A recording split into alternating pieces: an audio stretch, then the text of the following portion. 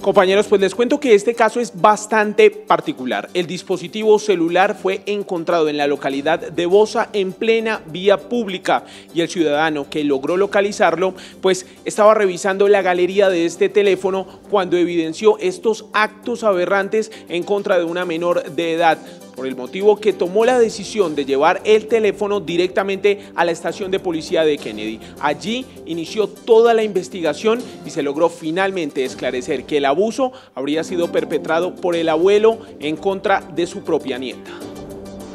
Un hombre que caminaba por la localidad de Bosa se encontró tirado en la calle un teléfono celular.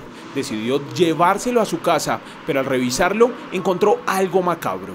Este ciudadano al notar que en la galería de imágenes habían videos con contenido sexual explícito en contra de una menor de edad, acude a las autoridades, especialmente a la policía de Kennedy, a la estación de policía de Kennedy, y entrega el aparato celular.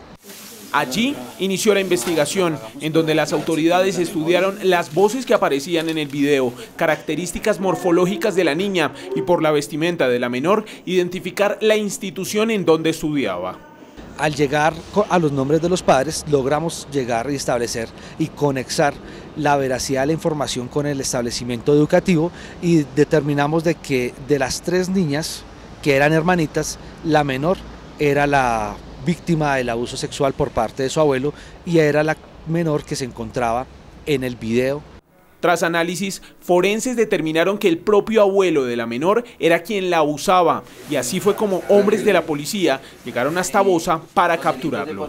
Fundamental fue la pericia y el compromiso de los investigadores de policía judicial al querer establecer la responsabilidad de este sujeto en el hecho. Se partió de la nada, se partió de un teléfono perdido. Según la policía de Bogotá, el adulto mayor venía abusando de su propia nieta desde hace más de cuatro años. Damián Landines, Cable Noticias.